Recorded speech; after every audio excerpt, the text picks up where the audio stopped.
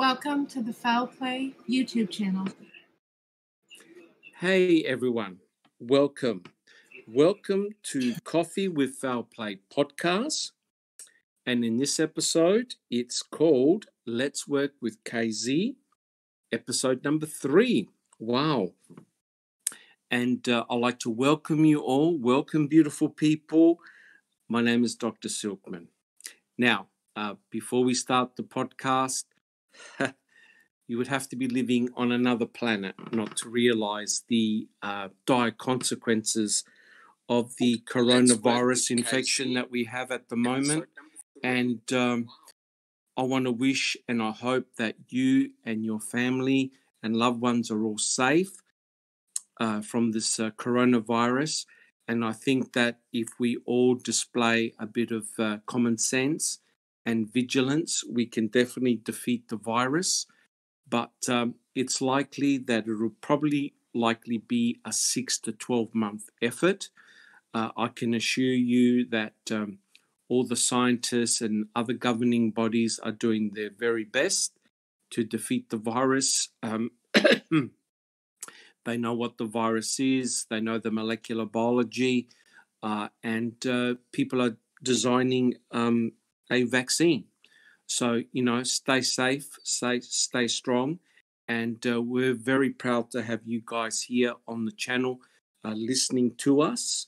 Um, that's awesome, especially under very trying times. Um, all right, guys. Well, joining us today uh, on our podcast, we have our regular researchers.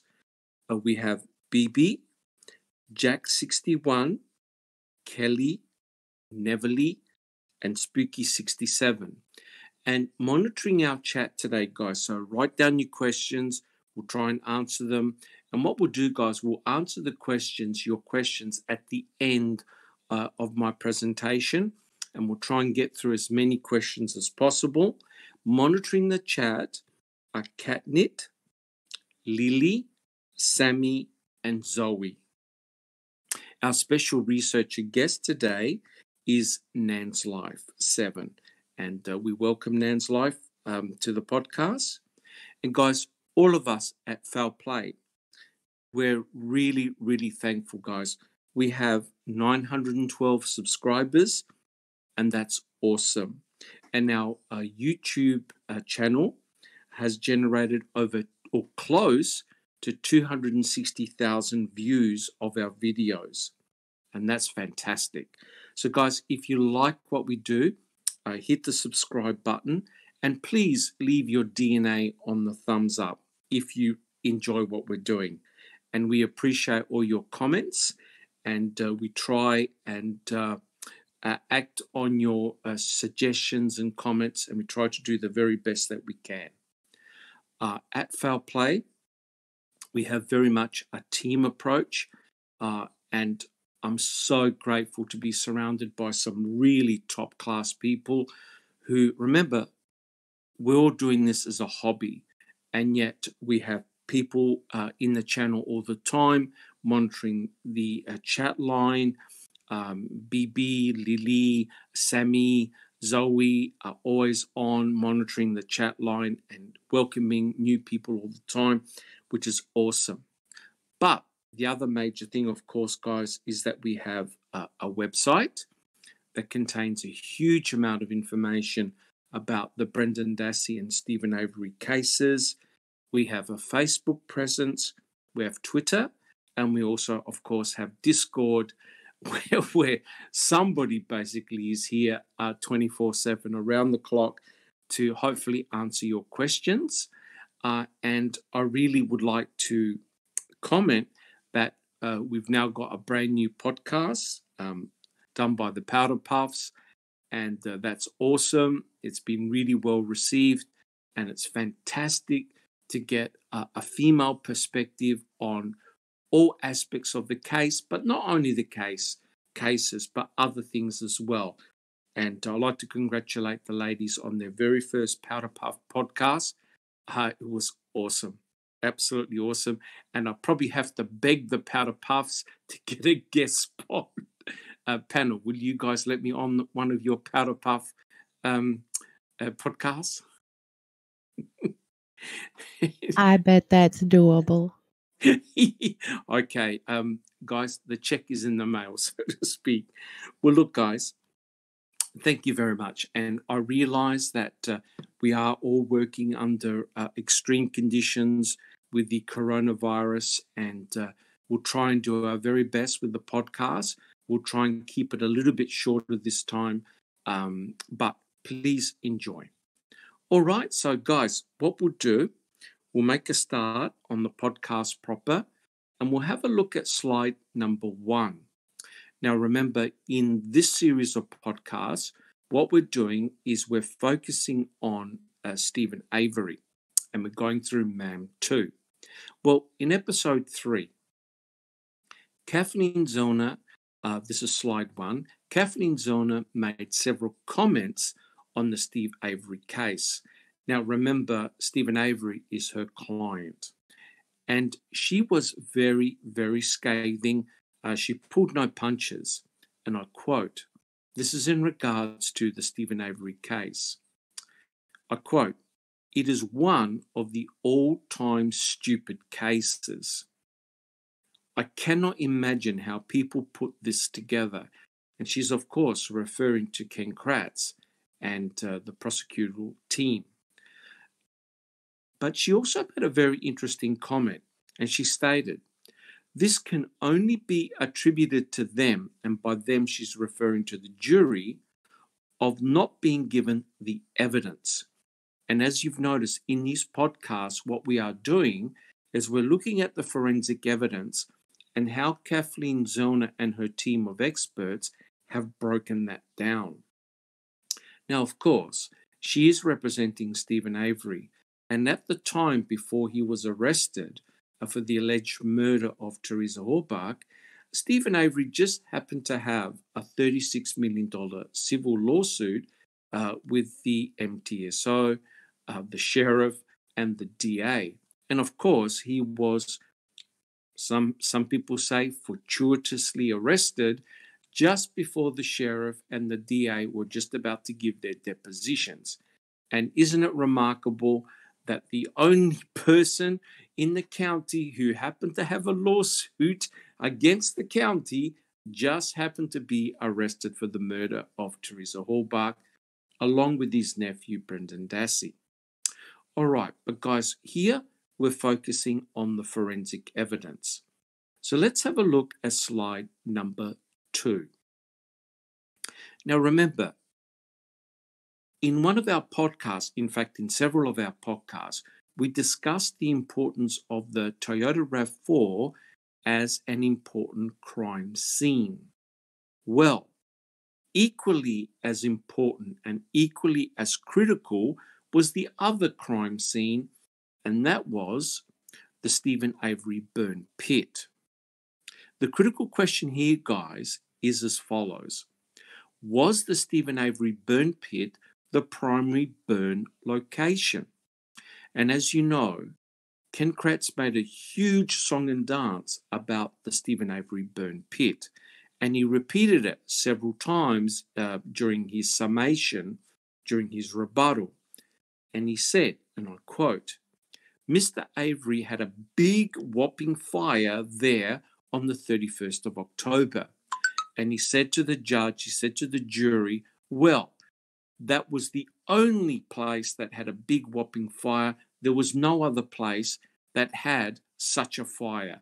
So, hence, he was trying to convince everyone that the fire was only present in the burn pit. Nan's life, do you have a comment? Yes, he was actually gaslighting there because it didn't matter how tall the fire was, it doesn't create the uh, need of the heat to destroy the yes. bones. Yes, excellent, excellent. And we'll be covering that as well. But thank you, Nan's life. He had to convince the jury essentially that the only place in Manitowoc where there was a big whopping fire happened to be in Steven Avery's burn pit. And as you can see here uh, on the right hand side, there's a picture of the burn pit. And we'll be discussing that because it actually is very, very critical. And you can see this is Steven Avery's dog, Bear. And remember, Ken Kratz was trying to convince the jury and the judge that the reason why they couldn't find any bones any earlier or cremains any earlier was because Bear was such a vicious, nasty Alsatian dog and prevented all the investigators from approaching the burn pit. right.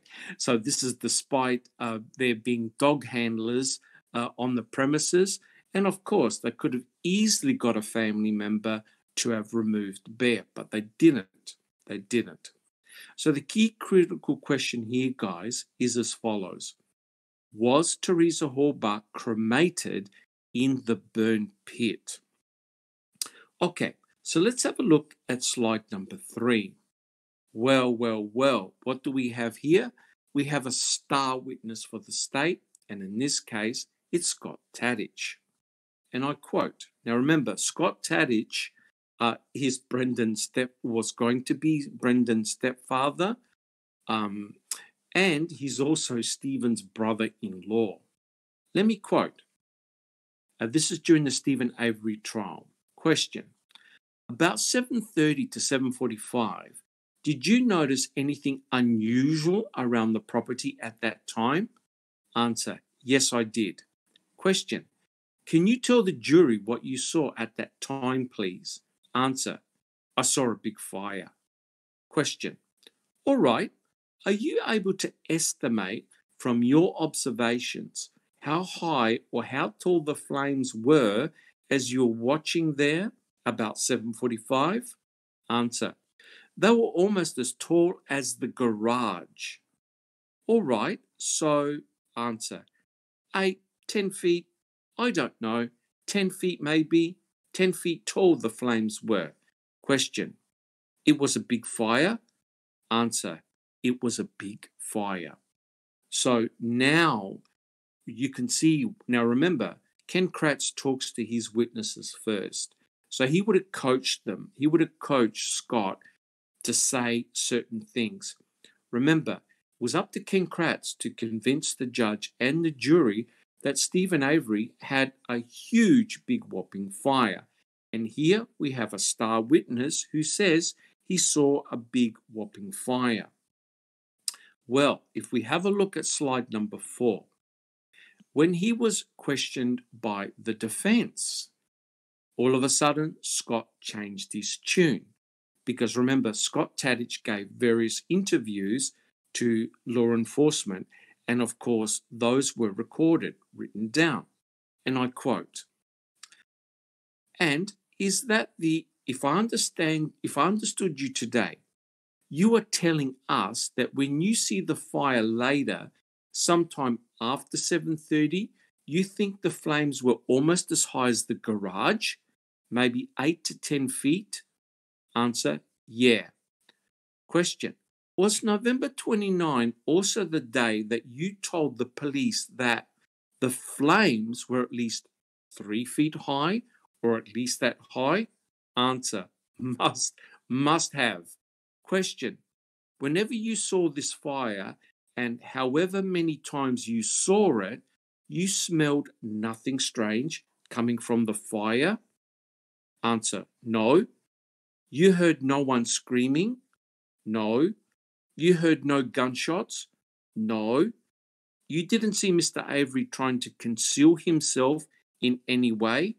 No. So, as you can see here, all of a sudden that huge 8 to 10 feet fire was much smaller, more like around about 3 feet. So, in a way, it negates what he was telling uh, Ken Kratz. But you see, it really depends whether the judge or the jury who which statement they really believed in. But it was pretty obvious that initially, when Scott Tadych spoke to law enforcement, the flames were not eight to ten feet tall.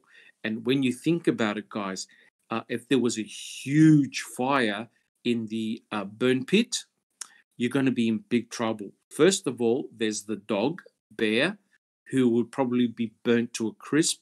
And there also happened to be a huge propane tank full of gas.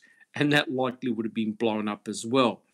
Also, remember that uh, Steven Avery's sister used to, com- Barb, used to complain all the time when Steven used to have fires that soot would appear on her house on the outside wall.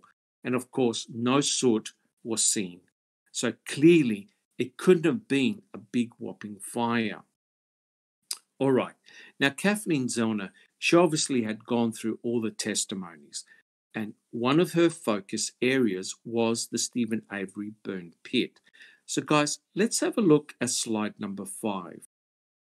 Now, one thing that Kathleen Zellner does is that she hires the best of the best.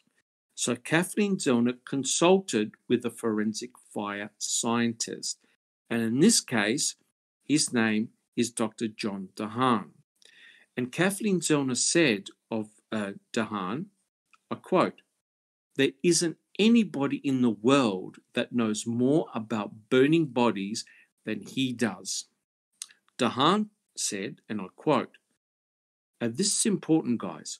I know what it takes to keep a body burning and what it takes to accomplish a certain amount of destruction. So he clearly knows what he's talking about. He's actually seen many uh, human cadavers burn and what it takes to get to certain levels of destruction. And in this case, guys, we're dealing with total destruction, just bones remaining. All right, so let's turn to slide number six. Well, Dr. John DeHaan looked at all the slides uh, and pictures regarding the Steven Avery burn pit, and he came up with a whole series of issues regarding the burn pit. First of all, um, John DeHaan stated this is an open pit. So that means that all the heat that you generate when you burn fuel is lost, predominantly lost to the atmosphere, right? So all the fire, all the heat predominantly is lost. And it means that if you want to keep that fire burning, you need to supply, pardon me, you need to supply a lot of fuel to keep that fire burning. So you need a lot of fuel.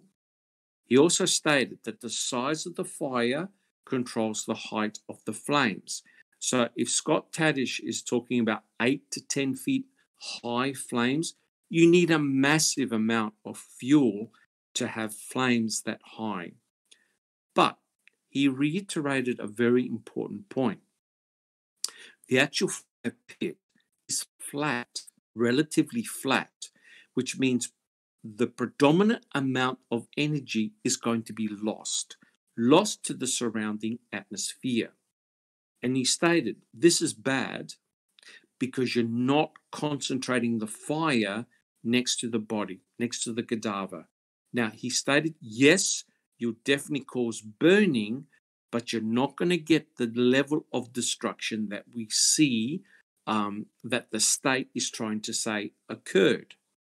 So, if you're going to burn a human body and break it down basically to bones, you need an enormous amount of fuel.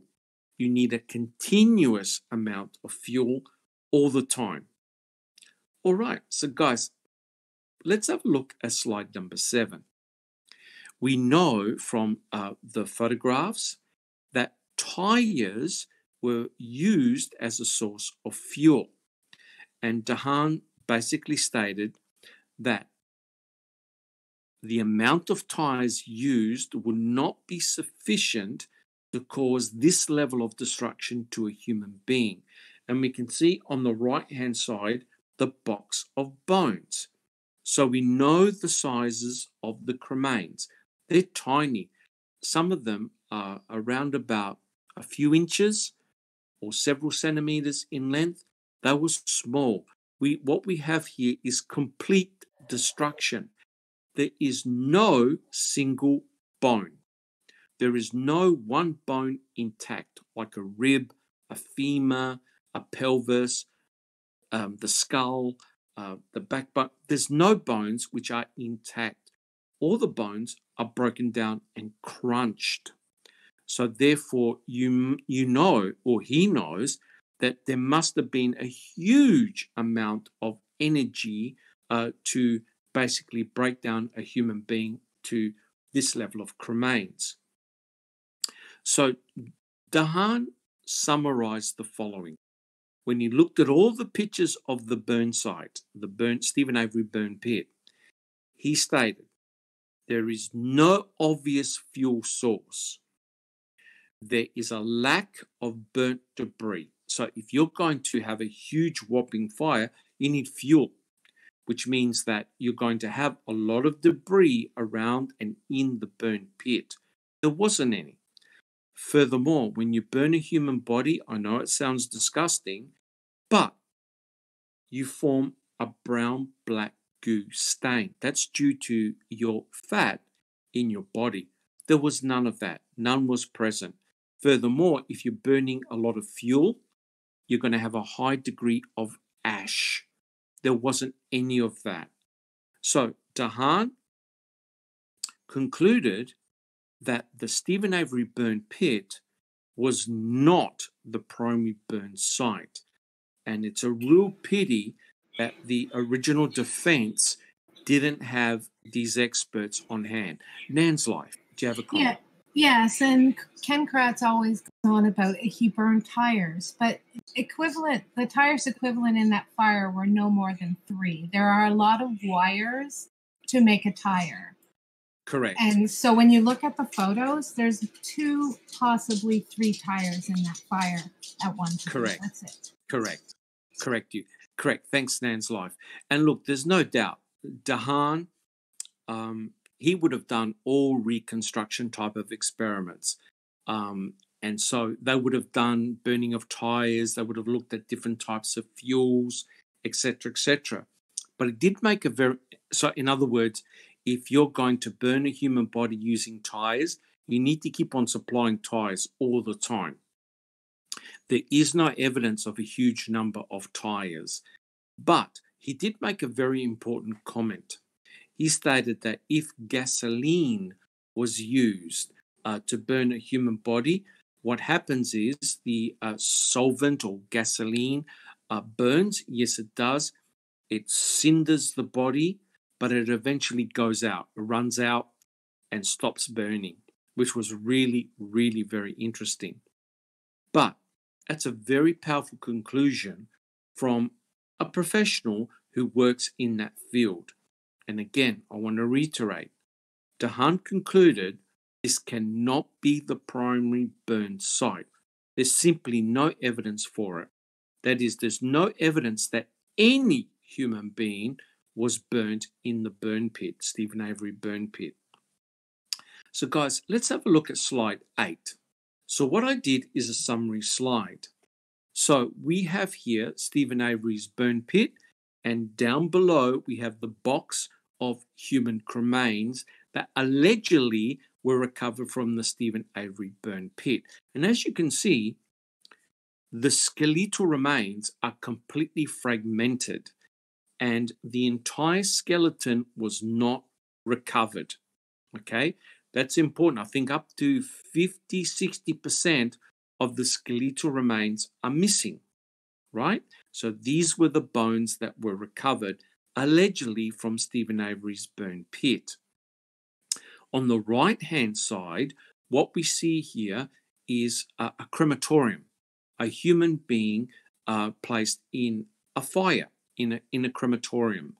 And as you can see here, the bones that are recovered after the burning episode, they're all small, they're all fragmented, and they're highly calcined. They're whitish in appearance. But you can see that you have total destruction of a human being. There's nothing left but small, tiny bone fragments. I want to let you know that the temperature of the crematorium is around about 1800 to 2000 degrees Fahrenheit. That's enormous. But in a crematorium, the important thing is this, guys, is that the heat is concentrated on the human body, right? It doesn't get dispersed into the atmosphere, it's concentrated inside. and you need a minimum of around about two hours to convert a human being into the following cremains. So it appears that the victim, Teresa Halbach in this case, was cremated. So it needed a huge amount of temperature. It required many hours of sustained heat to convert a human body into that level of cremains. DeHaan looked at the burn pit and said, There's no way you can convert a human being into bone fragments like that. All right, so let's have a look at slide number nine. Jack61, do you have a comment? Just remind me, Teresa's bones, just talking about the fires in the burn pit, Teresa, there was, or these bones didn't have any rubber residue on them. Is that, that's correct, right? Uh, that's correct. Correct. Okay. Uh, uh, that's correct. yeah, the uh, the the bones themselves are very very suspicious. Correct. Now, of course, um, if the bones were available to be re-examined, you would do microtrace analysis. You would have a look at the chemical composition of those bones and see if a particular accelerant was used, etc., etc. But unfortunately, as we know, guys, and as we know, um, listeners, uh, the bones were given back to the Halbach family in 2011. Jack 61. So if they did re-examine, or they were able to, you know, put that under the know, microtrace could, could get them, they could see if there was any vulcanized rubber or that kind of thing Correct. embedded. Correct. That's Correct. what I thought. Correct. They they would do scrapings of the bones, put them in a mass spectrophotometer, any other analytical chemical uh, analysis, and have a look what's actually adhered to the bones, right? Whether it's rubber, uh, whether it's some other type of accelerant used, uh, potentially they could tell what has caused that level of destruction to the bones. Plus, if there's soil or dirt, bacteria or whatever adhered to the bones, potentially they can work out where the primary burn site was located. Regrettably, the bones were given back. So it looks like a Kathleen Zellner's experts can't re examine those bones anymore. All right, so guys, let's have a look at slide number nine.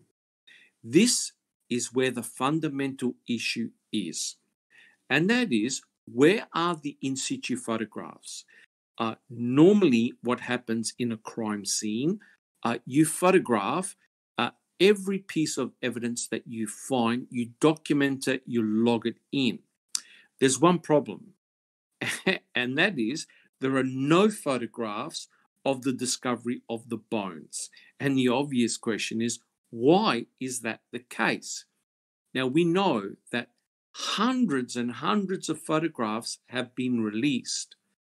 There are photographs that have been withheld from release, but from what we've seen so far, you don't see any in situ bones being discovered in the burn pit. Zellner made the uh, comment, and this is so true, and I quote, the lack of documentation just speaks volumes about what was going on here in the effort to get Steven Avery. Now, remember, guys, this is meant to be the primary burn location. Nothing is going to be more damaging to Steven Avery if there are in situ photographs of the cremains from Teresa Halbach in that burn pit. Right? It's going to be very damaging, especially for his defense team to argue against it. But we don't find any. That's the main issue. The crime scene has not been properly documented at all. So, guys, let's have a look. And the other thing, of course, uh, listeners and panel, is that they did the same thing to the Toyota RAV4. It was not processed in situ at the salvage yard, it was taken away. All right, guys, so let's have a look at slide 10. Now, this truly is remarkable. And so this was a uh, email uh, from John Ertl to Tom Fassbender. Now, remember, Fassbender is the lead, one of the lead investigators in the case, right? And uh, Tom essentially asked John Ertl, okay, did you photograph the, burn pit? Where are the photographs of the burn pit? I need to read this out because it truly is remarkable. Remember, uh, the state is saying that the burn pit is the primary burn location where Teresa Halbach was cremated. I read, I quote, Tom, I checked the contact prints of the photos we took at the scene, and you are correct. There are none of the inside of the license plate vehicle and none of the burn pit. The reasoning is the same in both instances. We typically do not take photos to document a scene if the scene was knowingly being altered. In regards to the license plates, the fireman had reportedly unrolled at least one of the plates and they had been moved from their original positions. In regards to the burn pit, our involvement began with a request to use our sifting equipment. The scene had obviously been altered at that point. Had we been working any of these scenes from start to finish, there would likely have been a more thorough photo record. However, under the circumstances, we were merely able to provide technical assistance rather than complete scene processing. Uh, any, any evidence that we collected, including the license plates, was packaged by us but inventorized, uh, inventorized, yeah, I think it was inventorized, and sealed by Calumet County John Ertl. Now, if you're not yelling, screaming, and just tearing your hair out, nothing else will.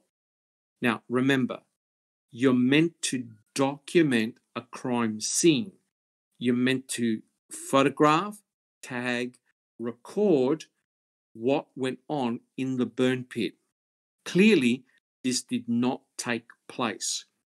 So, John was blaming Tom, Tom was blaming John. But what is clear here, someone had messed around with the burn pit. It had already been um, manipulated, it had been changed. So John Ertl obviously would have come upon the uh, burn pit and said, What do you want me to photograph? Everything has been changed here. I personally believe that this was deliberately done. And to prove that, let's have a look at slide number 11. Right now, you've all heard the famous uh, quote, and that is, ah, what do you need a coroner for? The coroner just comes along and kicks the body.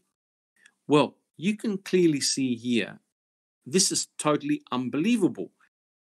Heavy machinery, this is slide number 11, heavy machinery was used to dig up the burn pit, right? And the obvious question is, why are you using heavy machinery to dig out dirt from a burn pit if you suspect that's the primary burn location of Teresa Halbach? What are you going to achieve by destroying the um, scene of the crime, right? And by using heavy machinery, you are literally destroying the entire burn pit. Now, normally, of course, what would have happened under normal circumstances is the coroner comes along to the crime scene, kicks everybody up, brings her own team of forensic experts, and goes through the burn pit. And what normally will happen is that she would closely document all the findings in the burn pit. Well, the state did not tell um, the coroner about the burn pit. And in actual fact, they phoned her and threatened her that if she went on the Steven Avery site, she would be arrested. Now, think about this, guys. The coroner had nothing to do with Steven Avery in the past, right? So the state prevented uh, their own coroner for coming on board to examine the fire pit, the burn pit.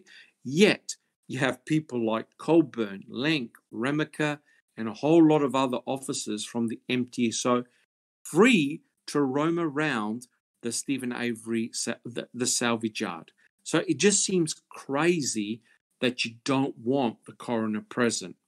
But I think we all know why they don't want the coroner present. Let's have a look at slide number 12. Well, here's the problem. If you've ever seen a crime show, you can see that when you properly document a burn pit or a place where a body is burnt or there are human remains or bones, you put a grid. You put a grid network around the uh, site, the crime scene, and you document every piece of bone or forensic evidence that you find. You don't use heavy machinery to dig out dirt, use brushes.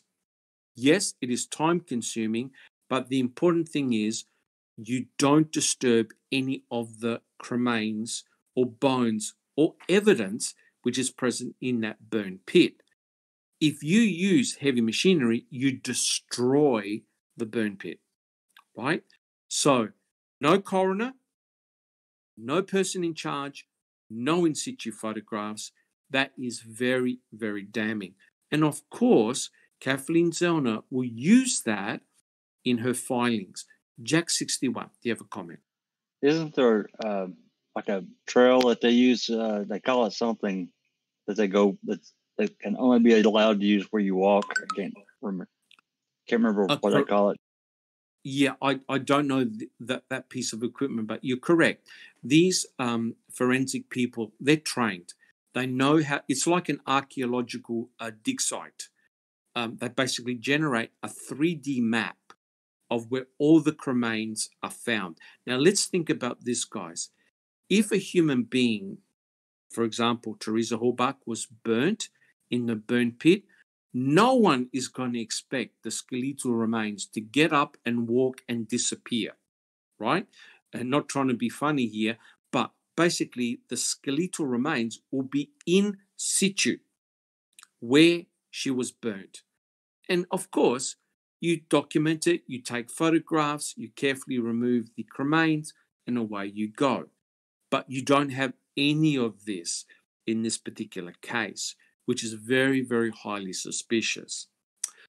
Okay, so no coroner, no proper documentation of the cremains. I completely agree with Bibi. Um, we had this discussion many, many times regarding those bones in a box.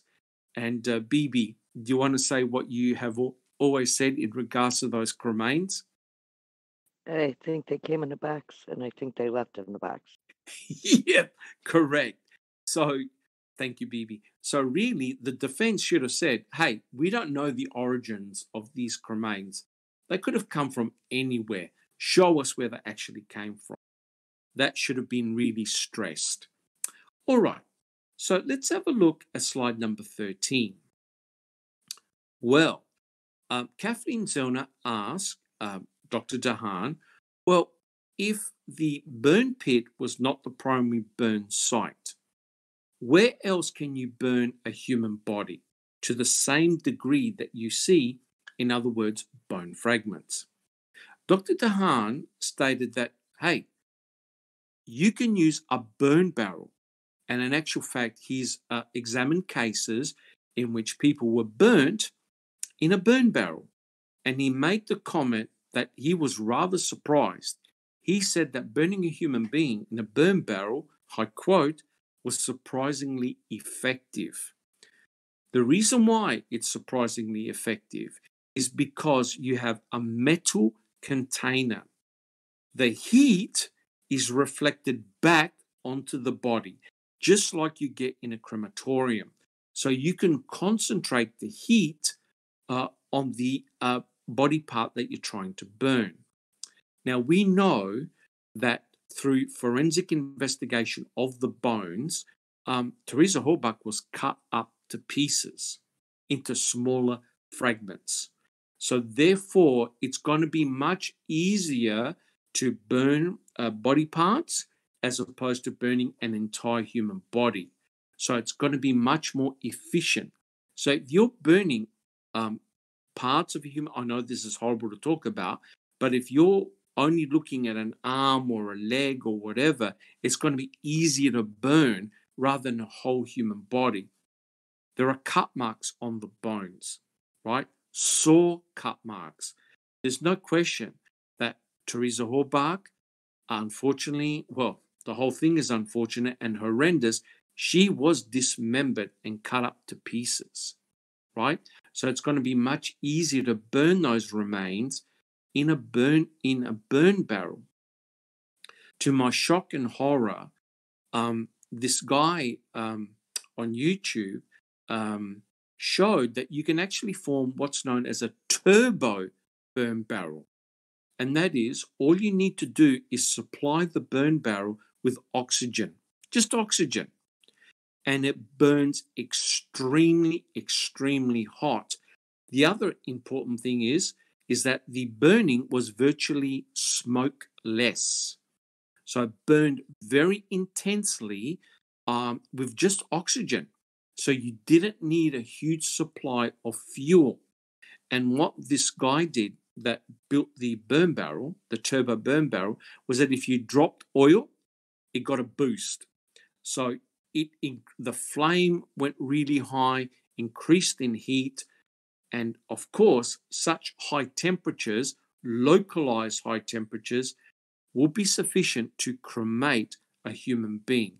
Of course, uh, John DeHaan he's done all these experiments before. He's seen cases where humans have been burnt in burn barrels. Okay, so let's have a look at slide number 14. So the burn barrel potentially is another burn site or location, not necessarily the burn pit. So if we have a look at slide number 14, what we see here is that there were four burn barrels known as the Janda burn barrels that, that were labeled 1 to 4, and these were seized on November the 6th. And what happened was these burn barrels, especially burn barrel number 2, let's follow burn barrel number 2. Burn barrel number 2, this is Janda burn barrel number 2, was examined on the 7th and the 8th. No bones were found in Janda Burn Barrel number two. However, on November the 12th, the uh, investigators re examined burn, Janda Burn Barrel number two.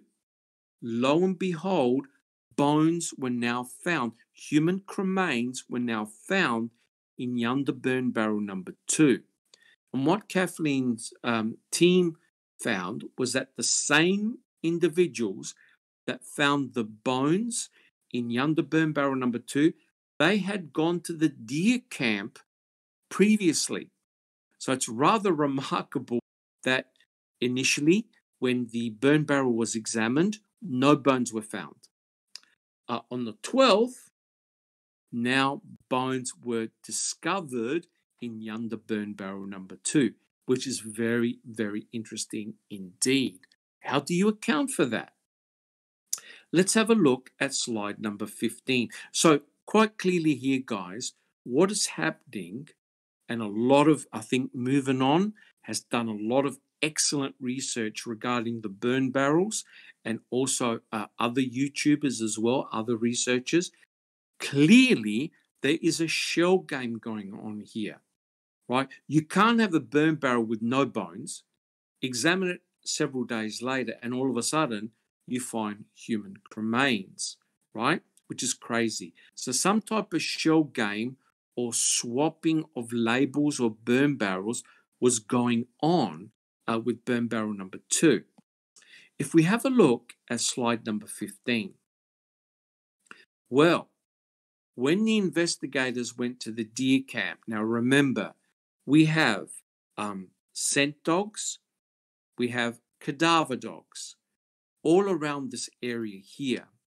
And a scent dog, I believe by the name of Loof, lo and behold, hit on one of the burn barrels at the deer camp.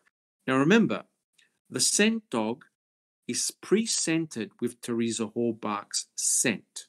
Uh, I believe in this case it was from a shoe. What on earth is a scent dog hitting on a burn barrel at the deer camp? Right, and as you can see, you can see the location of the deer camp from Steven Avery's trailer. If Teresa Halbach, according to the state, was killed and burnt in Steven Avery's burn pit, what is a scent dog doing giving a strong hit at a burn barrel at the deer camp? It clearly does not make any sense whatsoever. So, guys, let's have a look. So, that was very, very interesting and very damaging. I don't think the defense pushed these points hard enough. They really should have spent more time talking about uh, the scent and cadaver dogs and what they found. And of course, uh, McGilla uh, uh, has done excellent research regarding uh, the dogs and the tracks. So, superb piece of research. Okay, so if we have a look at slide number 16, here's the problem, and I totally agree with BB.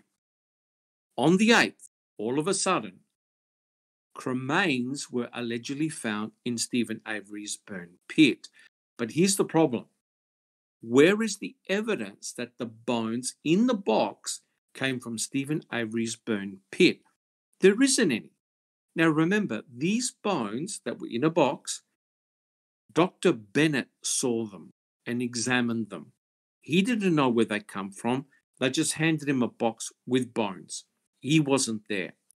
When he examined the bones, he found a pelvic bone, right? And from that, he was able to ascertain that it had come from a human female around about 30 years of age. So he was able to look at one of the pelvic fragments and say, yep, this is from a female, right? So it's remarkable that from observing those bones, those bone, the pelvic bone is called a diagnostic bone. You'll be able to, uh, someone who's a forensic anthropologist can look at that bone and say, yes, it's from a male or it's from a female of a certain age. Now, remember, Dr. Eisenberg didn't see those bones, I think it was until the 10th. And she was quizzed about this. And she was asked, Well, were you on the salvage yard when these bones were collected? No, I wasn't. So, what are you relying upon? Basically, the honesty of the law enforcement officers that found the human cremains. So, in other words, if they said to her, these were from the Steven Avery burn pit, she just accepted it, right? There's no paper trail to say exactly where these human cremains had come from. And again, if we look at what the state is trying to do, it is smoke and mirrors. You've got bones in a box. You don't really know the origin of where those bones, human cremains, had come from. So that's very important. And I agree with BB. Came in a box, left in a box. No one knows where these cremains had come from. Have a look at all those bone fragments. There's plenty of them. We should have 50, 60, maybe 100 photographs of the burn pit with those human cremains. We don't have any, as far as I'm aware. All right, so guys, let oh, and Nan's life. Do you have a question? Yes, not only do we have bones in a box, but we have bones in Ziploc bags. So we don't know if the bones in the box are human or not human. They're mixed. But why why are those bones specifically in bags? right. Well, the bones which are in the plastic bags are the ones that were examined by Bennett and also by Dr. Eisenberg. The bones that are in that bag, and I remember reading it in the testimonies, that's where the pelvic bone is, right? So uh, Dr. Bennett obviously looked at the cremains, uh, was able to sort them out, and found a diagnostic pelvic bone. Remember, there also has to be cranial bone fragments in there as well. Nan's life. Right. So he looked at the bones, sorted them, and then put them in a bag, and then they left the box of bones by the door for Eisenberg for when she Correct. returns out of town.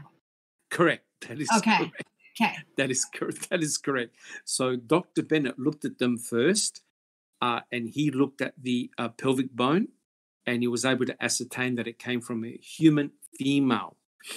But note this, guys, when Dr. Eisen, and we'll talk about this in a later podcast, when Dr. Eisenberg examined the bones, she didn't use the pelvic bone to determine that it was from a female. She used other bones and just did not even look at the pelvic bone, which was very, very interesting.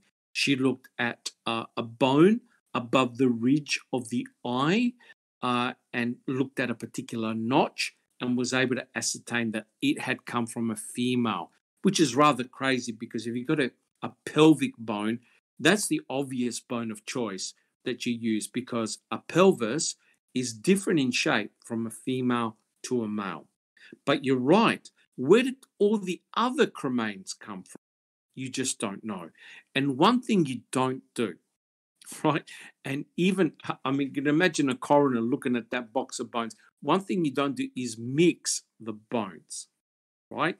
And we know, guys, we know that bones, human cremains, were found allegedly in the burn pit, in Janda Burn Barrel number two, and also in the Manitowoc County gravel pit. So, are all the bones mixed together? If that's the case, this is extremely sloppy scientific work. You just simply do not mix the bones together. Very, very bad.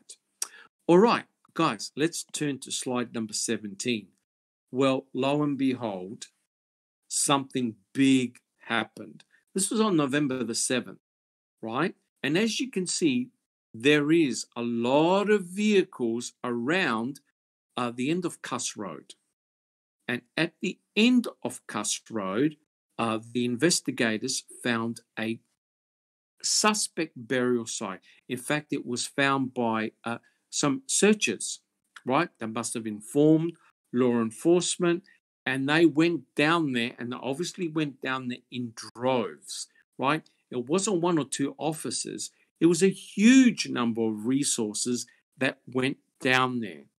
Now, as we know, um, uh, a retired officer by the name of Bushman, who came out of retirement, just happened to coordinate the searches down Kuss Road. So there was a lot of activity that was happening at Kuss Road. Now, I want you to look at this picture, slide 17. You can see that there is a back passage running from Kuss Road directly to Steven Avery's property.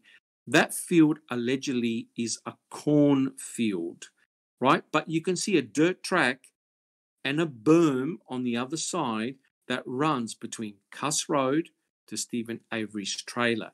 So, this suspected burial site was found on November the 7th. So, let's have a look at slide number 18. Well, lo and behold, a cadaver dog, and I believe also the scent dog, hits at the suspect burial site at Kuss Road. Apparently, Loof, who's the scent dog, was not permitted to cross the yellow tape. Now, think about this, guys. You've got a suspected burial site, you've got a scent dog giving a hit at the suspect burial site, but you're not allowing Loof to investigate any further, which is rather bizarre because surely you're interested in what's happened at this so called suspect burial site. But no, they prevented Loof from venturing in to the suspect burial site. This photograph on slide 18 is superb because it shows you the location of Kuss Road, the suspect burial site, the deer camp, and the side road that takes you to the deer camp. But it also shows you that on November the 8th, a cadaver dog hit at around Steven Avery's trailer. And Kathleen Zellner made the point you can easily bring material from Kuss Road, the suspect burial site, back and forth between uh, Kuss Road and Steven Avery's trailer.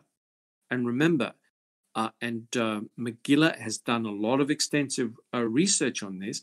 There's a trail by the dogs that go up and down that side um, uh, where the cornfield is, and uh, there's hot spots around the boom. Now, think about it, guys. If Teresa Halbach never left the Avery salvage yard, why are the dogs hitting outside of the Avery salvage yard? Doesn't make any sense whatsoever. Now, to me, if we look at slide number 19, this is truly remarkable.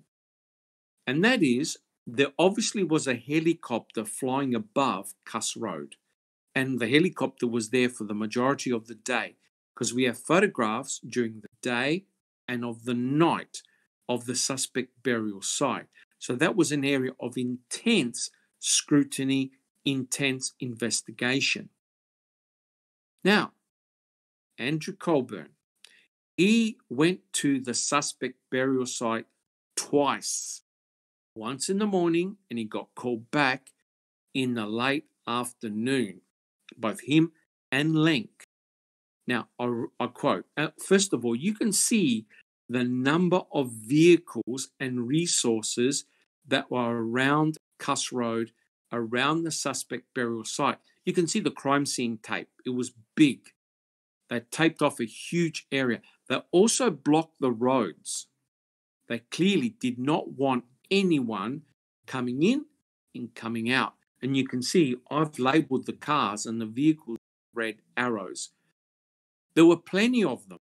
There was an ambulance down there. The crime scene lab was down there and Lord knows how many other investigators.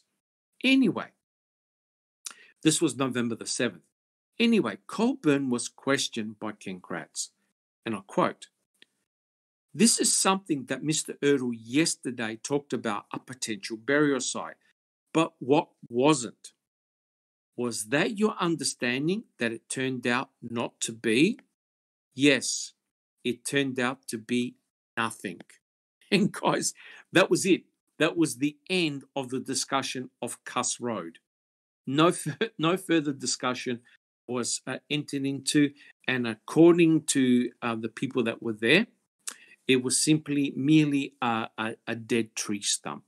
You know, there was a bit of disturbed soil, nothing to see here, guys, no problems whatsoever. Except, of course, the investigators put up lighting uh, and illuminated the whole area, and they put a blue tarp on top. So that's what you call proper forensic investigation, whereby there's a whole team of experts down there, and they obviously took a lot of photographs. Uh, we've only seen a portion of them, and the ones I want to see are the photographs in the batch H1 and H2, where they mention body, dig site, measurement. So it'll be very interesting to see what actually was found uh, in that temporary burial site. It can't be just a tree stump. There's no way you're going to have all this amount of resources for a burial site. You look at it, examine it, nothing to see here, boys. Let's go. They spent all day, and I believe on the 8th as well. Clearly, something of significance was found there. And the fact that the dogs hit around the area including the deer camp, proved to me that something of huge significance was found, but it's been suppressed. All right, guys, let's have a look at slide number 20. Well, you can see here that a huge area uh, around, at the end of Kuss Road was taped off. But if you have a look at the bottom left hand corner, it's small, but you can see this metal rod uh, inside uh, uh, a guy holding that metal rod. Well, these were the guys that surveyed in 3D. They mapped that entire area, right? Part of the uh, thing was Trooper Austin. They mapped that entire area. Now think about this, guys. What on earth are they bothering wasting money and time uh, doing a map of all the area if nothing of significance occurred there, right? And what is damning, of course, is both scent and cadaver dogs had alerted in this area. Furthermore, uh, Sheriff Pagel prevented Loof from crossing that yellow tape, right? But if a dog, if a scent dog is giving a hit, that's definitely very suspicious. Definitely something of significance had been found there. But Ken Kratz, I think he spent 20 seconds talking about the events of Kuss Road as well. But in summary, guys, it's clear that something big was found there. All right, guys, let's move along to slide 21. We're nearly finished, guys. As you can see, these are pictures of Kuss Road uh, around the deer camp. And we know that Loof, who's a scent dog, went from Kuss Road right and circled the deer camp. And this deer camp belonged to Radandt. He's the owner of the quarry. But very interestingly, the dog did a hit on the burn barrel, right? So this whole area is very, very important and highly suspicious. That you've got a scent dog following the trail from Kuss to the deer camp and then doing a hit on the burn barrel. Remembering, of course, what it found apparently found in Janda burn barrel number two. It's very, very likely that whatever was found in the burn barrel at the Radandt property either was transposed to Janda burn barrel number two or they just simply changed the labels, right? Something fishy had gone on. So, guys, let's have a look at slide 22. Now, if you think that was the end of it, it wasn't. It got worse.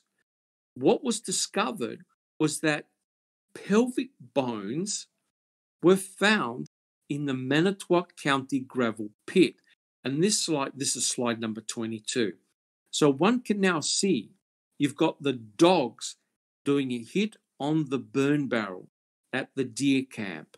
You've got uh, the location of Steven Avery's trailer, and lo and behold, you find uh, pelvic bones in the Manitowoc County gravel pit. And there were several mounds of bones found at the Manitowoc County gravel pit. I think there were three, three mounds containing bone fragments. Now, Dr. Eisenberg, and we'll discuss this in another podcast, Dr. Eisenberg refused to call them human. She called them suspect, possible human, because had she made the determination that they were human bones, how was anyone going to explain why part of a human pelvis was allegedly found uh, in the Steven Avery burn pit and the other part of the pelvis was found in the Manitowoc County gravel pit? It made no sense. So, was the gravel pit or around the quarries, was that where she was burnt? Teresa Halbach was burnt. Was she burnt in a burn barrel at the deer camp? And were her cremains dumped elsewhere? Right? That's what it sen- tends to suggest. But again, uh, Dr. Eisenberg refused to classify those cremains as being of human origin, yet they had cut marks and they were burnt to the same degree as the other cremains. And when all the bones were examined, Dr. Eisenberg said, We have one victim, right? There were no duplicate bones found, which makes it highly, highly likely we're talking about one victim here. Okay, so guys, let's have a look at slide 23. We're nearly done. Kathleen Zellner explained uh, the requirements that you need for a Denny suspect. Now, guys, we already know that the defense in the Steven Avery trial, they were hobbled. They weren't allowed to point their finger at anybody else during the trial. This was very, very frustrating. Now, the requirements for a Denny suspect are relatively simple. you need to show someone had the motive, the opportunity, and had a direct connection to the crime, right? And I think most of the panel and most of the listening audience are probably jumping up and down, and they've got at least three or four potential Denny suspects. And as Kathleen Zellner said, you raise doubt. You do that by pointing the finger to somebody else. And of course, this is precisely her tact during if she can get an evidentiary hearing, and that is to name potential Denny suspects. All right, guys, our final slide. Now, this was very, very interesting indeed. This is slide number 24. Now, as we know, as we know, a lot of the action took place at Josh Radandt's quarry and deer camp, right? A lot of activity. The law enforcement were down there, the investigators were down there, the dogs were down there. Obviously, they found a lot of things at the quarry and at the deer camp and the burn barrel. Now, Joshua Radandt wrote something very, very interesting. Look at the date, the 5th of November, right? This is the day where the RAV4 was found at the Avery salvage yard. This was the date when nobody knew where Teresa Halbach was. The only thing that was found was her vehicle.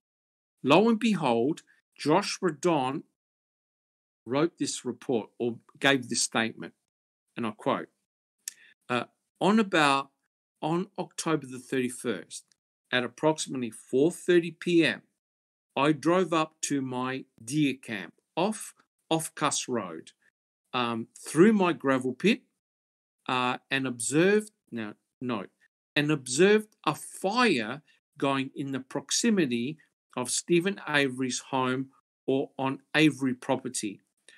The fire, now note this, the fire appeared to be contained to a 55 gallon drum, right? And what the investigators did, they took a camera and they went to where Josh Radandt made this observation. And as you can see here, uh, you can see some of the buildings on the Avery salvage yard, but there'll be no way you can make a definitive statement by saying, oh, yeah, there was a fire in a 55 gallon drum. Kathleen Zellner made a very important comment, and that is, I quote, Josh Radandt was the first person to link Steven Avery to the crime, which is rather remarkable. And in further podcasts, we'll be looking at Josh Radandt uh, very, very closely. All right, guys, we've managed to go through the podcast. Let's open it up to the panel. Let's open it up to the audience. Thank you, guys. Jack 61. Didn't they, um, did Wendy, or actually not just her, but weren't there several uh, officers that guarded Radandt's burn barrel overnight? Uh, I believe that's the case. Correct. Correct. Uh, it's hard to believe, Jack, why they just simply didn't take it immediately. I don't know. I don't know that one, but correct. Yes, apparently it was guarded. Okay, guys. Any other further comments? Neverly. Hi, Dr. Silkman. In regards to the number two burn barrel. Yes. Kathleen Zellner's intern, I forgot her name, really cute girl. So she said um, she was researching that, and she said the number two barrel was um, when it was found, it was searched and nothing was found. And then for some unknown reason, it was yes. searched the second time. Correct. And boom, there were the bones. After going to the deer camp. That is correct. That is correct. Yeah. Uh, and, and, who was in charge yeah. of that? The two okay. same agents, correct? That is correct. The same two guys, or the same two agents. I don't know then. I know it's in CASO. Uh, the same two guys went to the deer camp uh, and then searched Janda Burn Barrel number two, and lo and behold, uh, human bones were found in it. These bones were. Yes. Sorry. No, no, keep Sorry. going. Uh-huh. I think she said it was uh, Colborn, of course, Lenk. They're like, you know, joined at the hip, and Tyson. Yes, I, I can't remember the name of the agents at this stage. It's in CASO though. But you're correct, Neverly. It is very, very suspicious. Jack, I think it. I'm also remembering as they went through and they did this sifting. They resifted again, and then some of it they resifted again after that, and and as each time they sifted, they found more stuff, yes. Yes. like the Uh, rivet, but- like the the uh, Daisy Yes. Fuentes.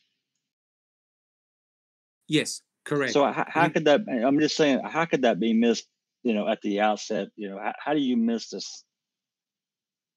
Just Unless other than downsizing the screens. Ugh. yes yes i mean that's a very good point jack i mean you you would expect proper documentation. You'd expect there to be a video. Uh, you'd expect to be photographs of all the findings. There's no point in having a photograph of what you found right at the end because you don't know the um, a chain of command basically where the, where the evidence had come from. But clearly uh, when the uh, when they searched burn, Janda burn barrel number two, nothing was found. And remember, Ken Kratz said that it was Steven Avery who put larger bones in Janda burn barrel number two. If that's the case, how could the investigators miss these so-called larger bones? It makes no sense. Beverly, do you have a comment? Yes, Dr. Silkman, I have a question and then a comment. The question is, what are we talking about the larger bones? How large are we We're talking about we're, we're talking about several inches. Yeah. Um, remember, all these bone fragments were actually quite small. Most of them Mhm. were about the size of your thumbnail. They were tiny. Mm-hmm. Um, and Dr. Eisenberg said that, uh, now believe this or not, after cremation, the bones were crunched. So not only not only was um, Teresa Halbach uh, cremated, she the, the the cremains were crunched with something obviously heavy. So they were broken down to tiny, tiny fragments. Um, some of the fragments were the sizes of the thinness of a match. They were tiny. BB, Or like they do in a crematorium. correct, smash correct. them and grind them. Correct. Uh, if you've ever seen um, someone being cremated, like a video, of course, uh, what they do is at the end of the cremation, they get a big metal bar and they crunch the bones because some of the bones are very, very hard to break. They use a metal pole and they crunch the skull uh, and other larger bones that have remained. And then after the bones are crunched, they're put through a cremulator basically they're ground down to a powder. Yeah. So these bones have been crunched. Sammy, do you have a comment or a question? Bean Green asked uh, in the chat, what do you think happened to her teeth? Yeah, that's a that's a very good question.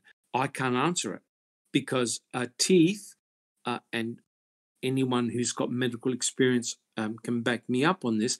Uh, teeth are very difficult to burn, uh, completely burn.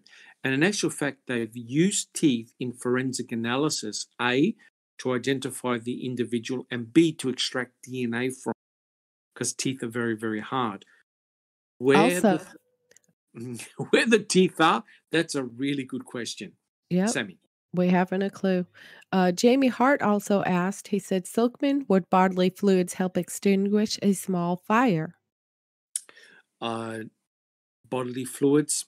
No. I mean, if you're burning, uh, for example, if you're burning a human body, uh, everything will vaporize.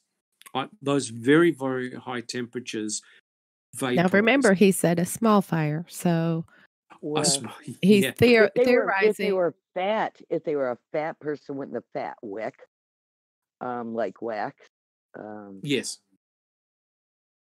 Yeah. It would take more than a small fire. Yes, yeah. I mean, Dr. Dr. DeHaan obviously has seen human cremations uh, take place. uh, and also some of the um, uh, burnings that happen in places like India.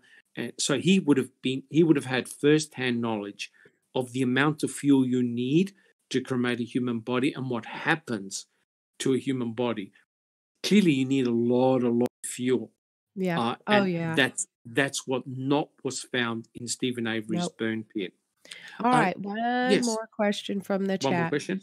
T1 asked, Where's the evidence that Steven Avery had any sophistication or prior knowledge of how to dispose of a body or crime sense in such a way? No web searches, no library records, not one jail convo conversation. No, no, no, none whatsoever. You have to be. You have to be. You have to be. Um, you definitely have to know your stuff.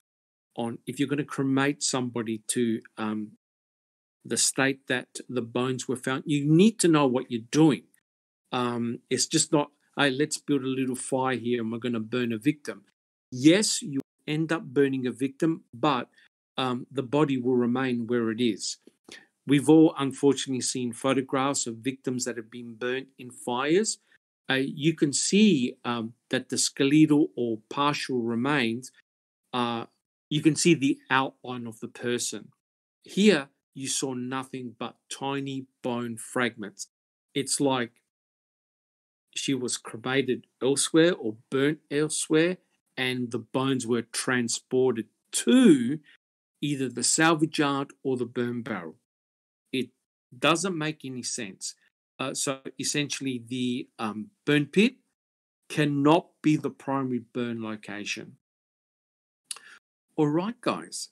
Any other questions? Neverly. There is actually a question um, that Super Mario asked Is it known if the body showed any signs of knowledge in cutting it up? Uh, you mean the body itself? Is it known if the body showed any signs of knowledge in cutting it up? In other words, like an experienced person. Dismemberment. Well, that what well, you meant? yeah. I mean, I mean the Well, the um, Wouldn't Sorry, it be Bibi. no because they cut off the hip bone like in a really weird place? Well, that's true. That's true. Um, but you would have to you would have to have knowledge and skill to dismember a human body. Do you Uh, mind the- if I interject? No, not at all. Um, first of all, so very little of the remains were found that there's no way to know for sure. And I can tell you from being a meat cutter for five years that when you're skilled at it, you know exactly what part of the joint to cut to get things to separate. And it is Yes. not difficult if you know what you're doing as far as to cut up an animal, um, to debone it. I mean, the whole nine yards. But I'm going to say you're not going to get away with cutting something up like that and and taking it, piecing it out without leaving some kind of cut marks at some point, you know. Yes. Yes. But so little of the body was found for there to anyone to be able to determine that. Uh, correct. But what was found, uh, thank you, Sammy. But what was found were there were fine blade cuts in the bones and also a curved saw blade. So uh, Teresa Halbach was cut up probably with um, uh, either a knife or a hacksaw, something to cut up the body into smaller fragments. It doesn't appear to have been like an axe because of the way the uh, bones had the they're called hesitation cut marks. Basically you start to hack into or cut into the bone and then you stop. But clearly someone was using fine blades to cut the body up into pieces. Uh, jack 61 Go back to slide 11 and the digging out of the pit. yes Do you think that do you think that they foresaw it being a problem that and we know that the fatty all these remains ooze down into the soil so that no one could come back later and dig around in the soil and say, Hey, there's none of that here. And they just scooped it all out. Well, the thing is, if they were doing proper crime scene documentation, that were, which they obviously didn't. No, no. Before you before you bring even a shovel, you take pictures of the surface of the burn pit and close-ups. Uh, Yep. you examine it. You look for th- obvious things like clothing, uh, jewelry, or whatever. Uh, human cremains, uh, the black ooze, ash. Uh, they found none of that. Right? Otherwise, if they did, there would have been photographs. Uh, Jack, the last thing you do, and you know as much as I do, you never disturb uh, a dig site using that heavy machinery, right? I think, I Unless you right. un, un, unless you're looking for gold, you you don't disturb a crime scene like that. In actual fact, what they've done is destroyed the crime scene. So therefore, think about this: if you're going to do a switcheroo and say, "Oh yeah, we found these bones at the Steven Avery burn pit," and somebody else wanted to come along and reanalyze the burn pit, you say, "Oops, we dug it all out." So therefore, if you destroy the crime scene, you've uh, covered your tracks. And that's precisely what they've done. They dug it out and put the dirt in mounds, and then they sifted through the dirt. Now you don't know that the cremains that were found. What did they find? Did they find chicken bones, animal bones? You don't know. So it's like an illusion. You have a box of bones, and you say, "Yeah, they came from over here," but you can't prove it. Jack, Or in what, or in what order, uh, what order they found because they didn't dig it properly. They didn't sift it layer by layer by layer, like you said. Correct, correct. Uh, anybody who's uh, processing a crime scene uh, would be flabbergasted to see what they did to that burn pit. Right now, think about it. You've got a human body that allegedly was burnt in that burn pit. Uh, by using uh, hand tools, you'll be able to dig out every bone. You'll find them all. You don't need to dig it out like this. To me, I reckon they've done this to destroy the crime scene so no one can come back and reanalyze it. BB. Well, and it's not really a burn pit, it's a burn area before they get at it with that bobcat. Correct, correct. Uh, what DeHaan said, thank you, Bibi. What DeHaan said was that the burn pit was flat. Uh, what we get said to, uh, to Brendan Dassey, hey, look, the burn pit's a few feet by a few feet. It's about the size of a tabletop. It was not huge. It was not big. Uh, there was no way that you can sustain a massive fire in that burn pit.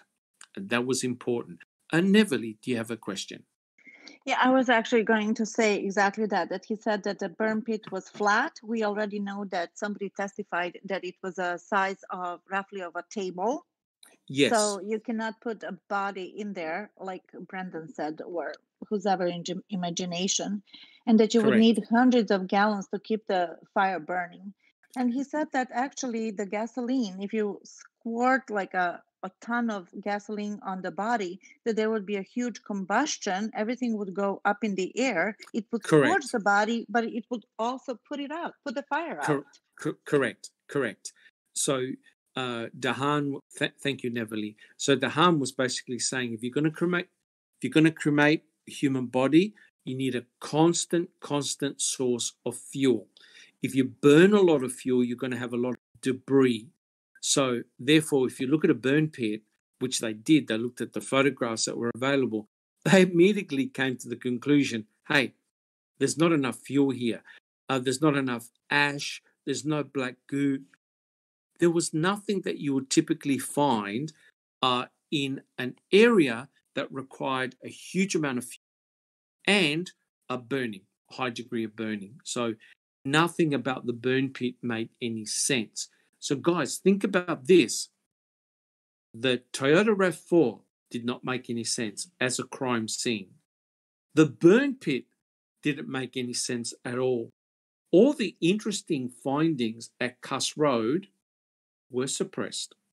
So, what does that tend to suggest? It tends to suggest that it's smoke and mirrors. They gave the illusion of a crime having taken place in the Toyota RAV4 and in the burn pit, but it's not supported by the forensics.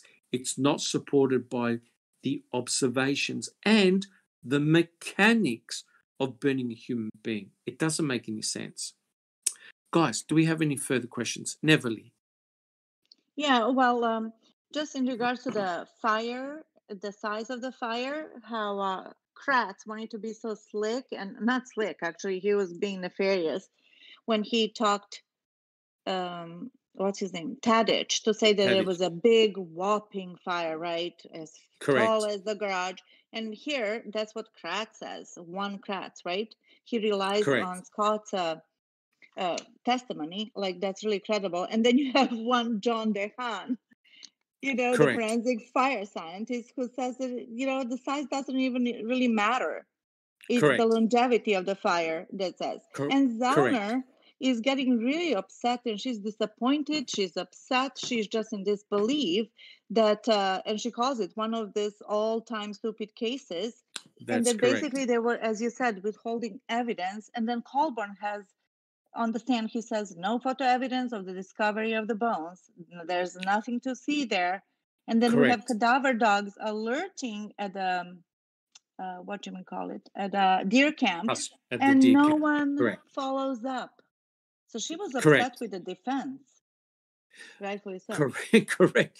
In fact, she's going to use it as in ineffective assistance to counsel. So yeah, it's going to be very, very bad. Spooky sixty-seven. Thank you, Hey. Neverly.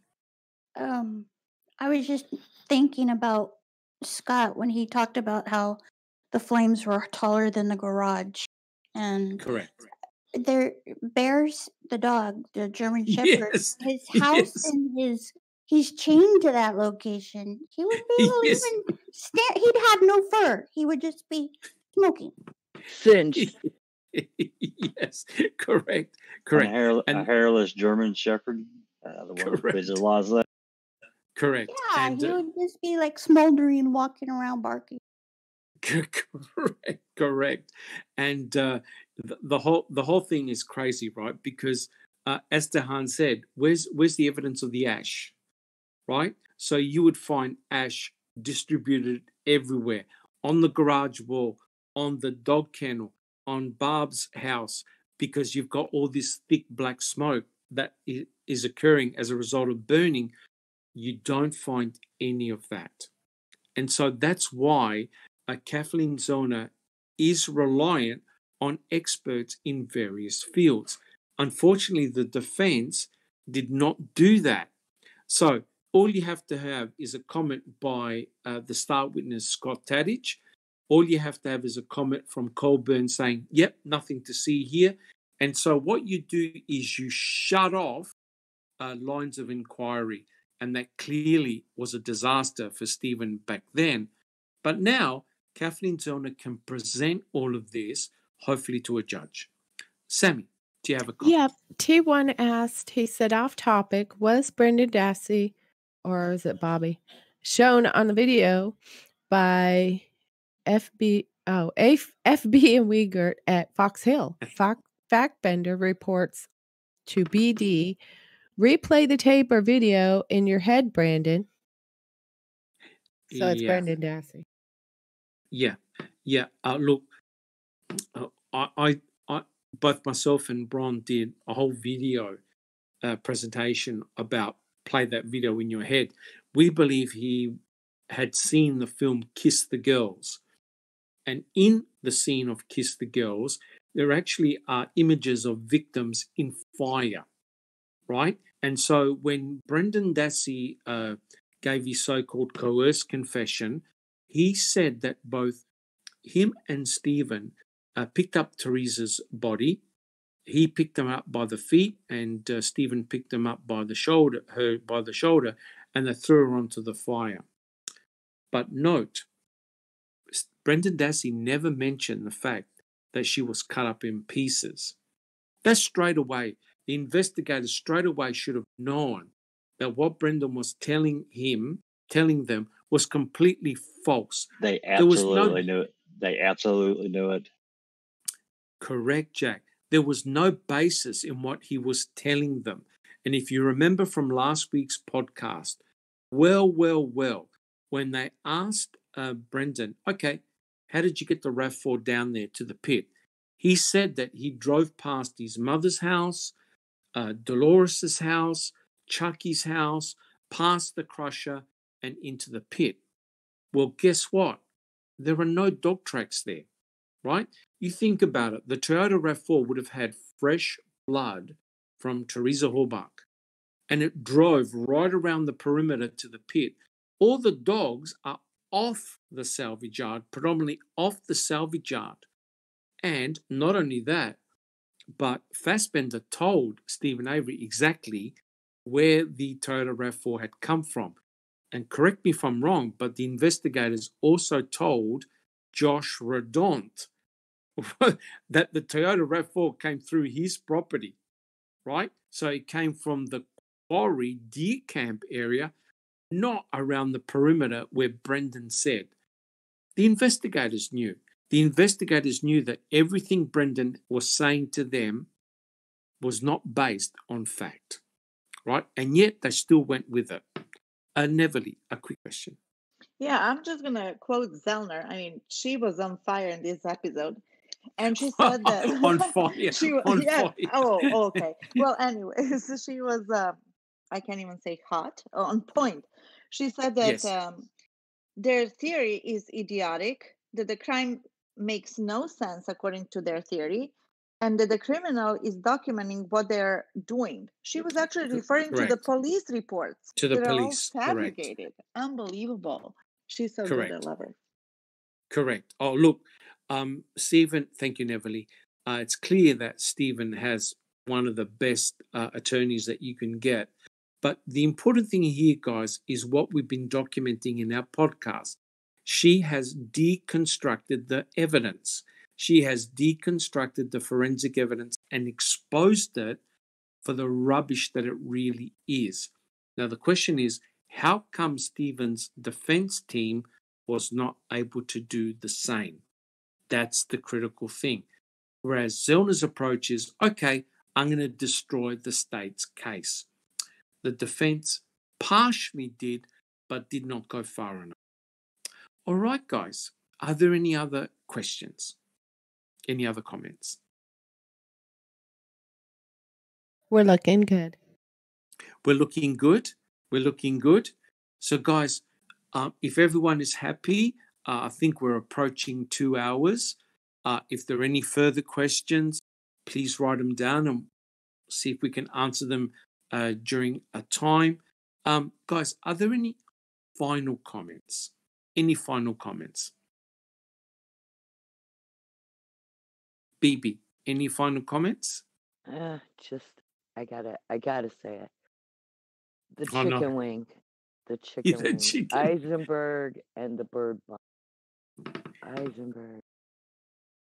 Correct, correct. Uh, yes. Uh, she clearly screwed it up in the Christine Rudy case. And she did. She did. yes, and there was clearly a chicken wing, and you never once hear anybody call out. I most like, certainly would have. I if I was a defense, I most certainly would have questioned her credibility and her competence after that. Correct. Well, and never correct. once does she call out, oh, yeah, there was a box of bones and like one chicken wing.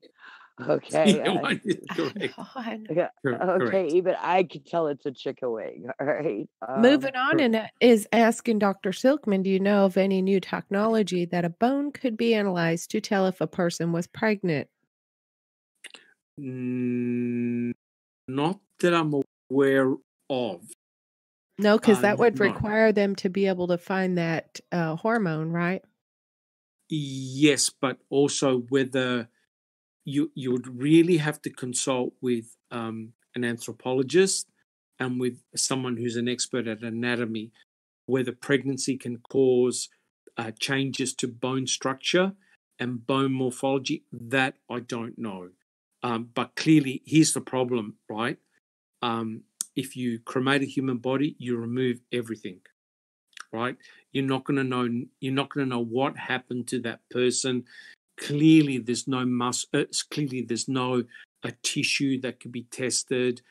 But of course, there was blood in the RAV4. Whether any type of analysis could have been done, um, type of chemical analysis that could have been done looking for trace hormone levels, I don't know. But I, I dare say that it's probably too late now.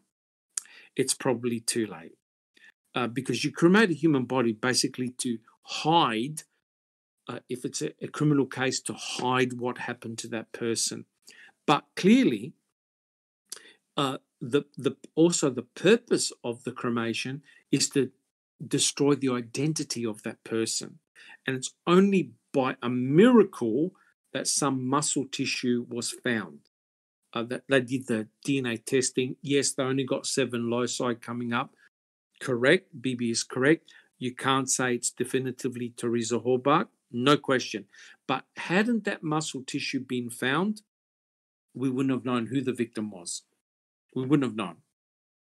I I still call bullshit on the muscle tissue. Yep. No, You you I I, I mean, I if they had a whole leg bone, if I they can't had like, if they had the whole leg bone, eh, I might be able to say yeah, but they have pieces, like finger sized Cor- pieces at correct. best. So Correct. there is no way the bone is reduced down that much, and there's still meat. Correct. Um, my understanding was that there was a little bit of charred muscle tissue uh, on a bone that was called item BZ, only a tiny bit of muscle tissue, and it was charred, it was burnt. Um, the DNA obviously was badly fragmented, but guys, we can dispel all of that because all we need is the bones. And with the new Andy Rapid DNA system, uh, the bones can be tested.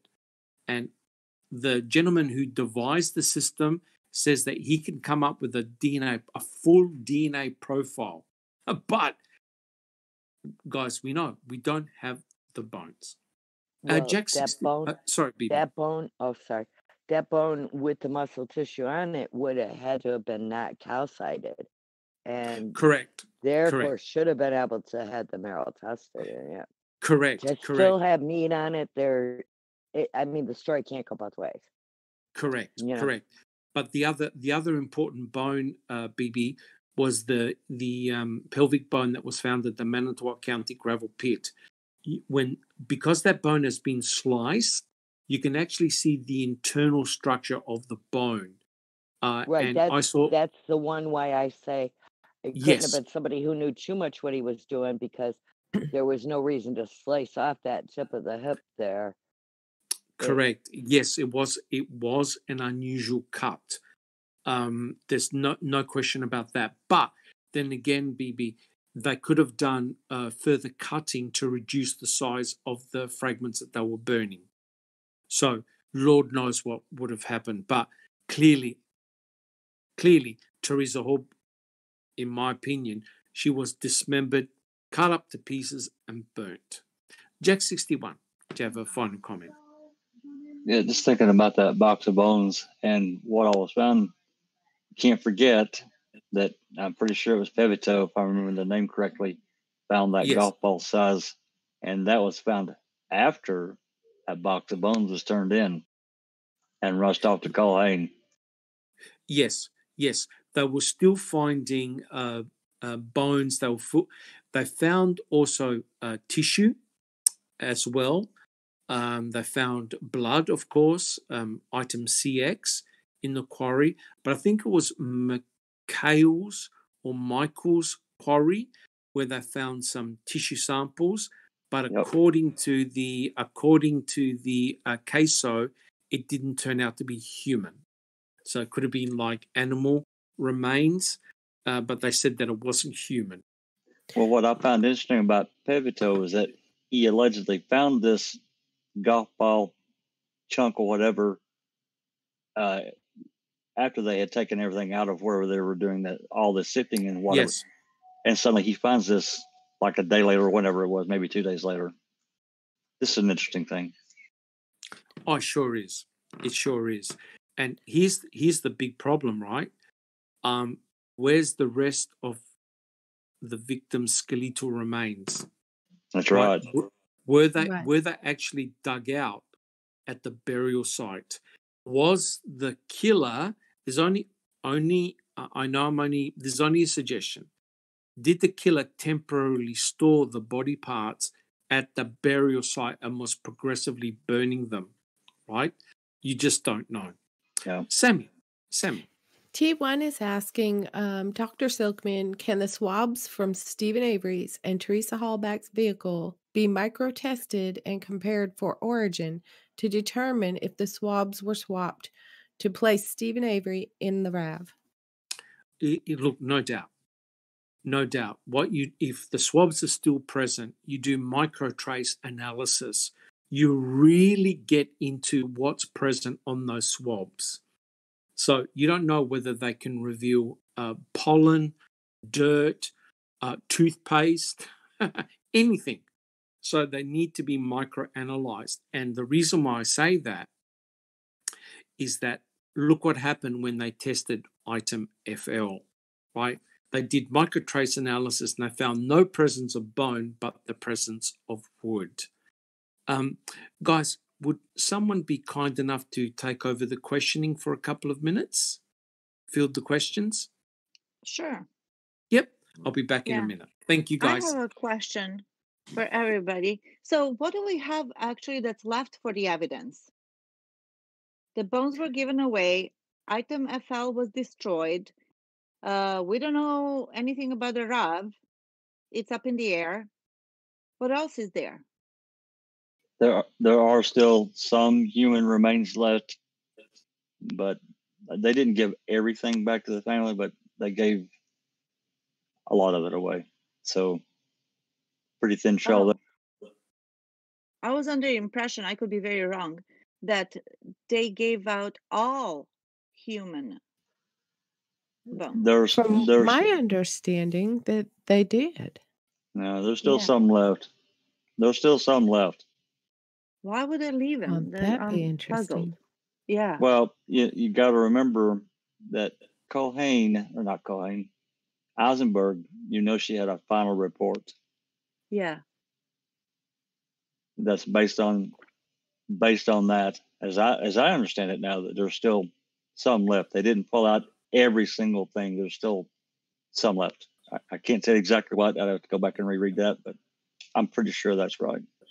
I think I there were some one of- suspected. I Well- thought in sure. one of the phone calls they said something like uh, one of the messed up phone calls that got made, something to the effect that they dug through the bag and pulled out everything they thought was human remains or something.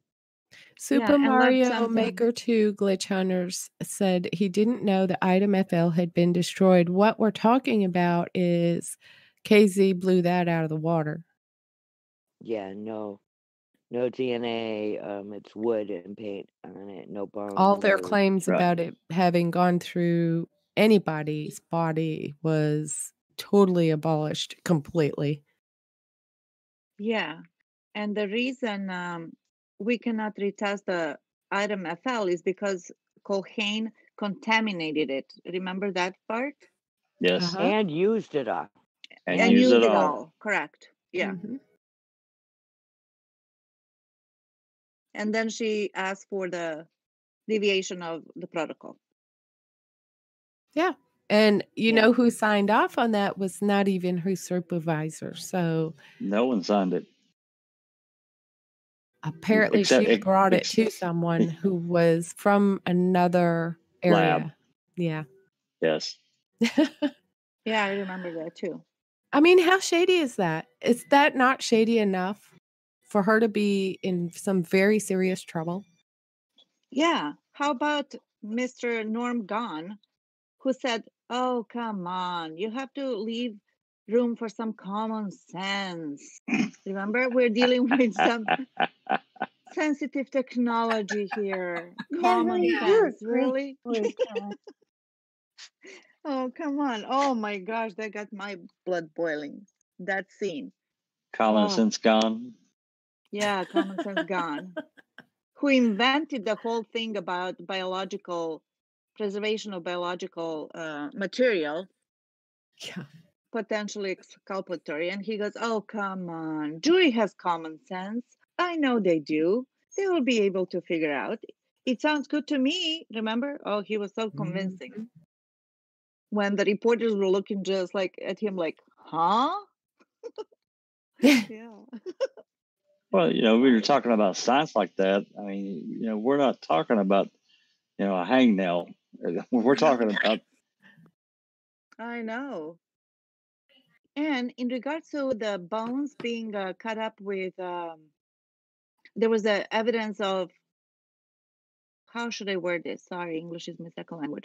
Did somebody use um, did somebody use some tools to cut up the bones? Didn't hacksaw. Yes. the yeah hacksaws?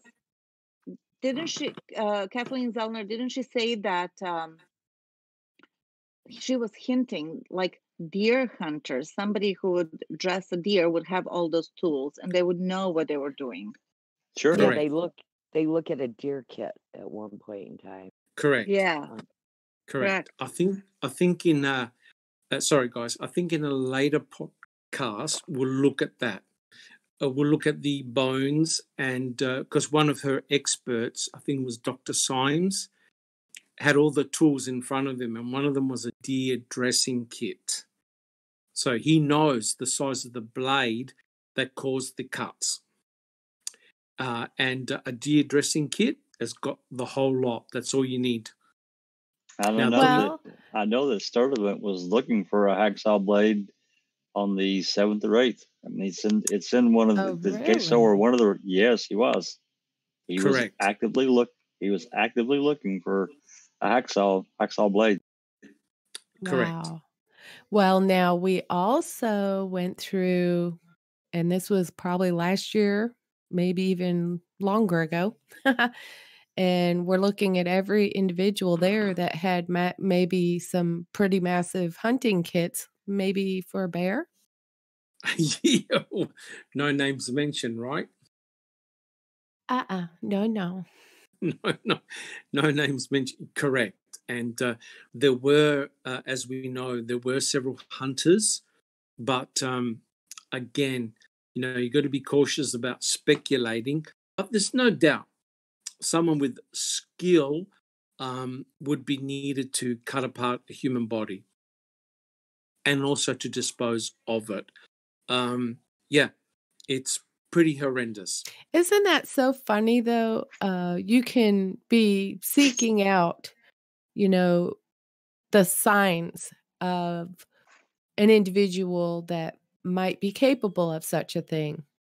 Um, if that happened to a neighbor, I get along with my neighbors, but let's say that happened to one of my neighbors and I didn't get along with them. What are you trying to admit on this podcast? if I had that crap that was on that computer and I had a kit that you know could potentially be make it very easy for me to dismember anyone or anything would I not become a suspect instantly? Could I look at them and say you're just speculating? Yes. uh, Um, thank you, Sammy. Look, there's no, there's no doubt. Um, everything in this case is wrong in terms of looking at suspects, potential suspects. Um, normally, what would happen is that uh, you look at the uh, all the people that the victim knew, uh, friends, lovers, boyfriends, etc., etc. You start there, and then you work your way out. But in this particular investigation, as we've seen, uh, it actually happened the other way around.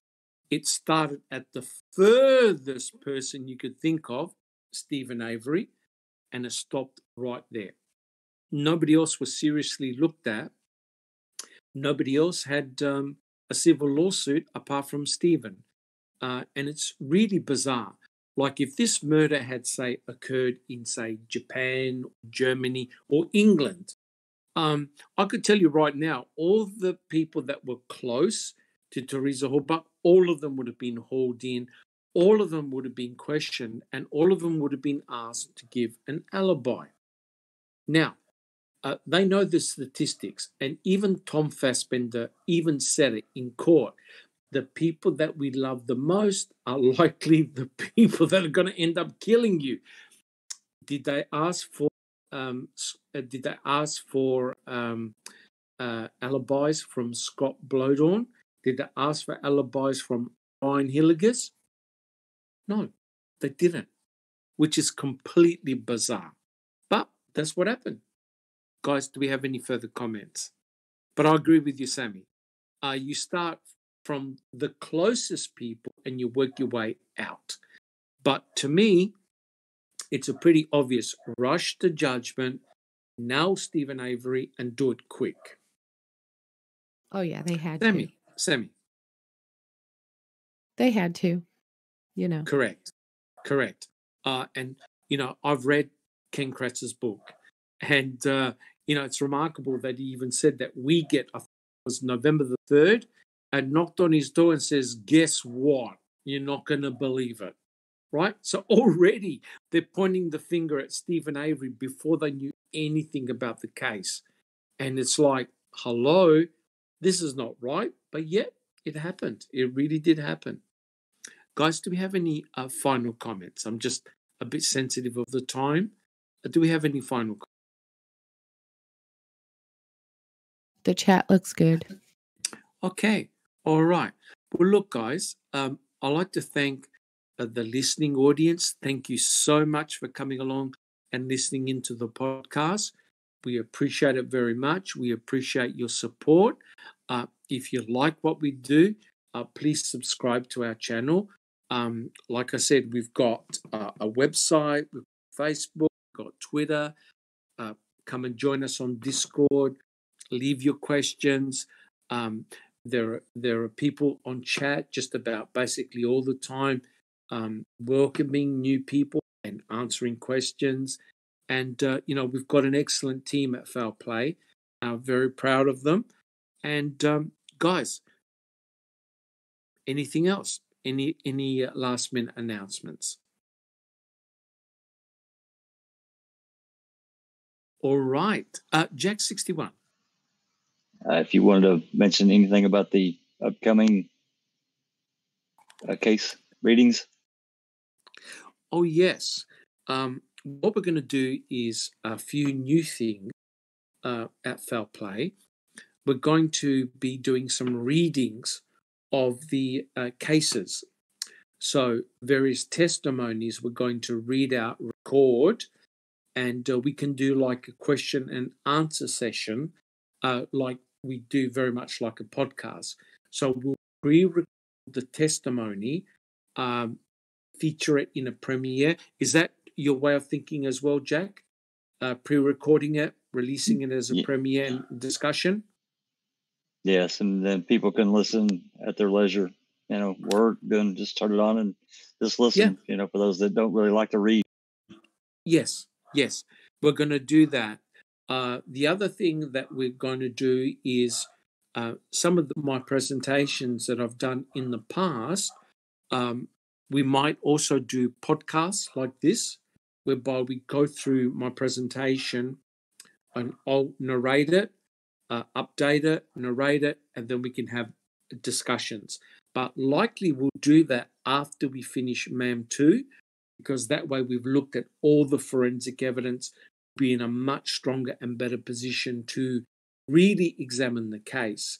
Uh, and for me, this goes to show um, the importance of what Kathleen Zellner is doing.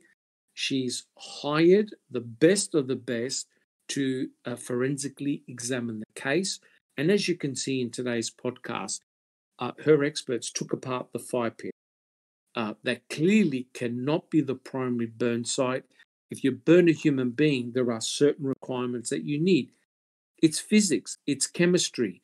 Uh, you can't get away from it. And none of those elements were present in the burn pit. Steven Avery did not burn any, no human being was burned in that burn pit.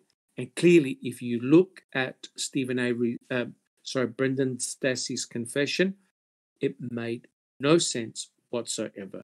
And the investigators, Fassbender and Wiegert, they knew he was, he had no idea what he was talking. Yet they still went. So shame on those two guys. All right, guys. Well, I'd like to thank uh, the panel. I'd like to thank everyone for their uh, input. And Neverly, do you have a quick comment? Yes, so it doesn't come like a surprise to you, Dr. Silkman. A bunch of us, pretty much all of us, would like to see a podcast with you and Magilla. Oh, So yes. brace yourself and let's make this happen. yes, that would be really, Yeah, really we good. took a vote and it was all thumbs up. Yes, it'll be awesome. So, if Magilla, if you're out there and you're listening, uh, hopefully we can get together at some stage and do a casual podcast like this. Um, you know, we can discuss your research, um, discuss anything you want, and it'll be awesome. I think it'll be awesome. Thank you so much, guys. So, uh, if there are no further comments, um, may all your uh, loved ones and family be safe from the coronavirus. This is a world changing event. Uh, all of us uh, will be affected in some way. Um, keep safe. And uh, hopefully, guys, we'll see you all next week. Thank you so much. Thank you for joining us. This has been a Foul Play production.